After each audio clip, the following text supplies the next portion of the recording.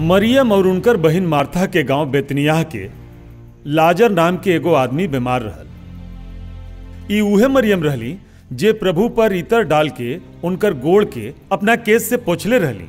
उनकर भाई लाजर बीमार रहल। ऐसे उनकर बहिन लोग यीशु के कहला भेजली हे प्रभु, देखी, जिनकरा से रउआ प्यार रखिला वो बीमार बाड़न।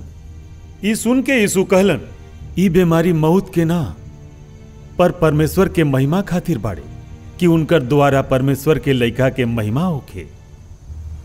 यीशु मरथा और उनकर बहिन मरियम और लाजर से प्यार रखत रहले।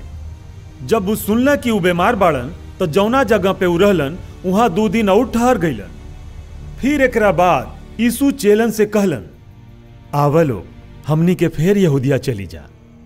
चेला लोग कहलन, हे गुरु अबही तो यहूदी रउआ के पत्थर से मार के मुआवे चाहता न स, और का रउआ फेर हुए जात बानी? यीशु जवाब देलन का दिन में बारह घंटा ना होला यदि केहू दिन के चलेला तो ठेस ना खाला, काहे कि ए दुनिया के अंजोर देखेला। पर यदि केहू रात के चलेला तो ठेस खाला, काहे कि ओमे अजोर नहीं खे। एकरा बाद यीशु फिर उ लोग से कहले, हमार दोस्त लाजर सूत गईल बाड़न। हम उनकरा के जगावे जात बानी।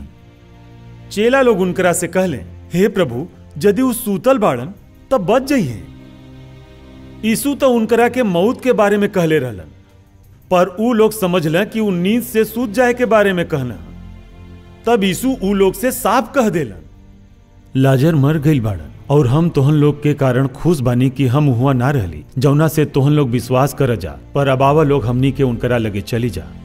एह पर थोमा जवन दिदमुस का हाथ रहल, अपना साथे के चेलन से कहले, आवलो, हमनियों के उनकरा साथे मरे खातिर चलल जाए जब यीशु वहाँ पहुंचला तो उनकरा के मालूम है कि लाजर के कबर में रखले चार दिन हो चुकल बा। बेतनिया यरूशलेम से नगीज कोनो दो मील के दूरी पर रहल और ढेर यहूदी मरथा और मरियम के लगे उनकरा भाई के बारे में शांति देवे खातिर आयल रहलन लोग।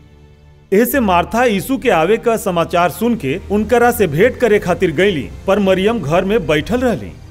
ऐसे मार्था यीशु से कहली, हे प्रभु, यदि रउआ यहाँ होती तो हमार भाई कबहू न मर, और अभी भी हम जानतानी कि जवन कुछ रउआ परमेश्वर से मांगे, परमेश्वर रउआ के दीहन। यीशु उनकरा से कहलन, तोहार भाई जी उठी हैं।